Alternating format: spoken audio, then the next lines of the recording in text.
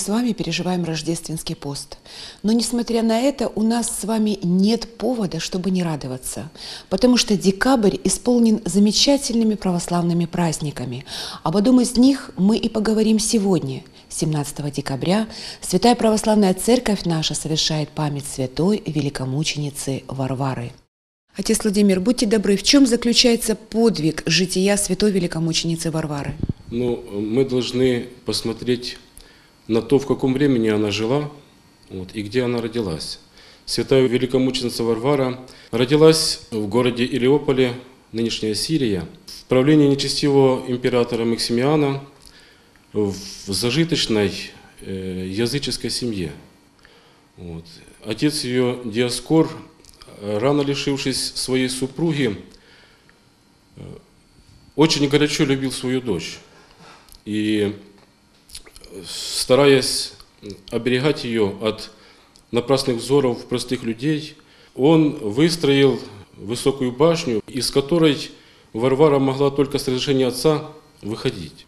Святая Варвара, наблюдая э, прекрасный мир Божий, и с высоты своего жилища задавалась вопросом, кто же так премудро и красиво все устроил.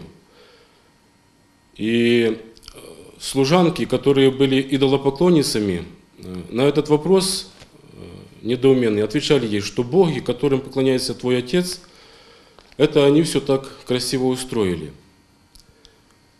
Она же в своем уме говорила себе, как могут боги, которые сотворены руками человеческими, все так премудро и красиво устроить. И она говорила, что должен быть один такой Бог, который не сотворен руками человеческими, но должен иметь свое, свое бытие. И через познание э, мира видимого она познавала своего Творца. В скором времени э, к Диаскору начали обращаться знатные и богатые мужи, прося руки его дочери. И с вопросом о браке он пришел э, к Варваре, но, будучи чистая сердцем, будучи целомудренной, ей тяжело было даже слушать э, и думать о замужестве. И она ответила своему отцу, что если еще раз ты обратишься ко мне э, с таким вопросом, я погублю свою жизнь, и ты, и ты лишишься единственной своей дочери. Отец пошел на хитрость. Он решил, что должно пройти еще какое-то время для того, чтобы дочь его переосмыслила этот вопрос. И для этого он разрешил ей вольно выходить из своего жилища, для того, чтобы в общении со своими сверстницами, э, с замужними женщинами, она задумалась о замужестве. Отец, будучи в длительном путешествии, дал возможность Варваре э, вольного общения со своими сверстницами, и она познакомилась с девицами, которые были тайными христианками. И именно они рассказали ей о Святой Троице – о Господе Иисусе, который э, воплотился от Пречистой Девы, который пошел на вольные страдания, на крестную смерть, и также они возвестили ей о воскресении Спасителя. Волей Божией было так устроено, что в город Илиополь пришел э, под видом купца священник из Александрии. Святая Варвара пригласила его в свой дом. Священник преподал ей истины веры Христовой и потом крестил ее во имя Отца и Сына и Святого Духа. Святая Варвара, преисполненная еще большей любовью к Богу, пообещала, что всю свою жизнь она посвятит только Ему. Услыхав от дочери э, христианское вероучение, отец пришел в ярость. Он обнажил свой меч и хотел убить свою дочь. И лишь бегством святая Варвара спаслась от неминуемой гибели. Убегая от отца, дорогу ей преградила скала, но по молитвам святой к Богу гора расступилась, и святая скрылась в пещере. Долгое время отец искал свою дочь, и лишь от одного из пастухов он узнал, что святая прячется в пещере. Найдя ее к вечеру, отец жестоко избил свое дитя и обессиленную за волосы притащил домой, запер ее в подземелье и до утра морил голодом.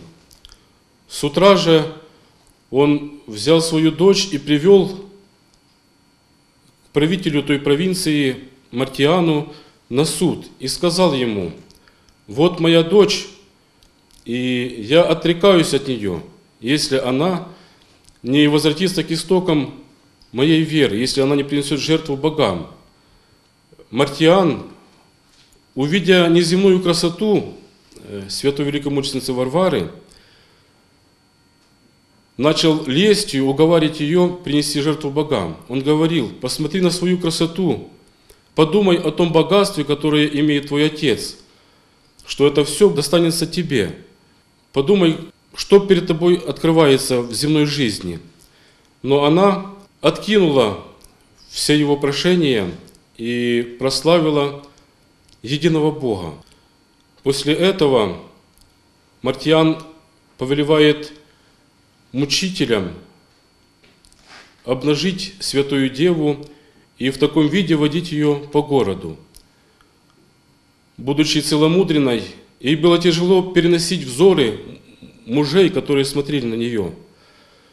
И она возмолилась Богу, и Господь послал ангела своего, который светом своим сокрыл от очей мужей ее наготу.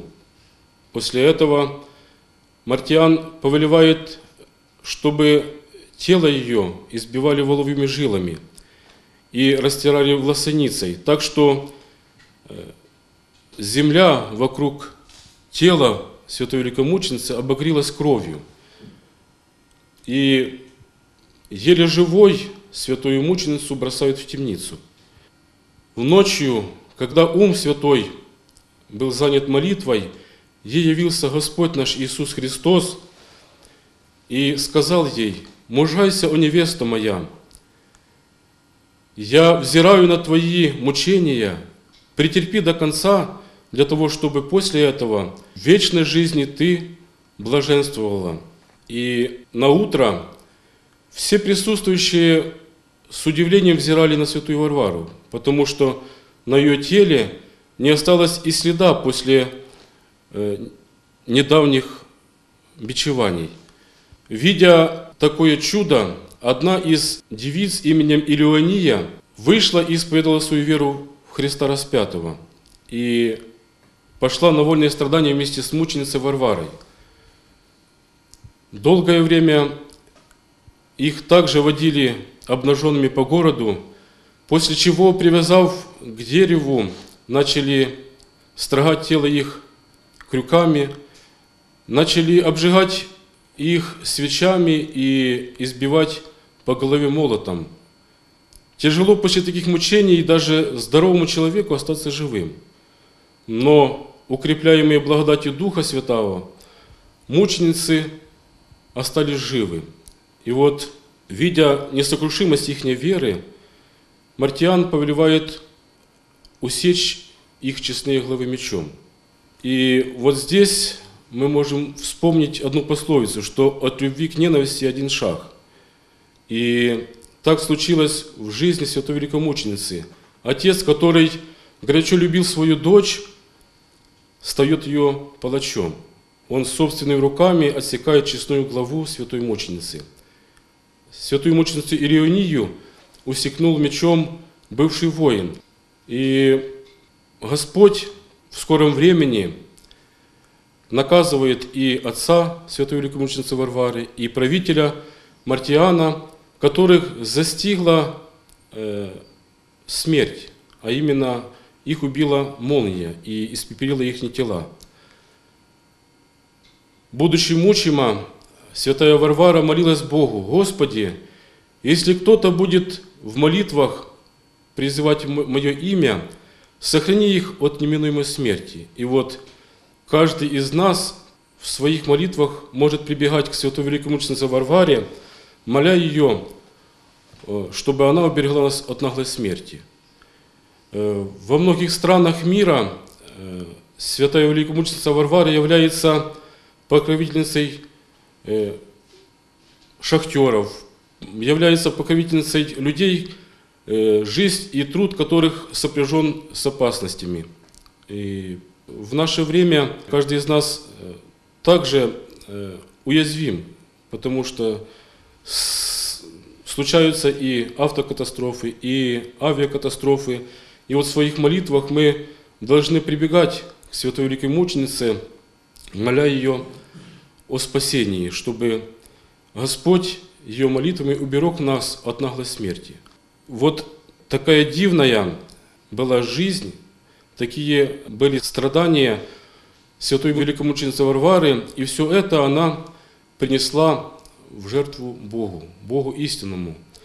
И потому э, всех женщин, всех девушек, которые носят имя сей великой угодницы Божьей, великомученицы Варвары, поздравляю с наступающим праздником, с Днем Небесного их покровителя. И желаю, чтобы Господь молитвами и предстательством святой великомученицы Варвары не спаслал им крепкое здоровье и телесное и духовное, милость свою, а также всех телезрителей поздравляю с этим великим днем.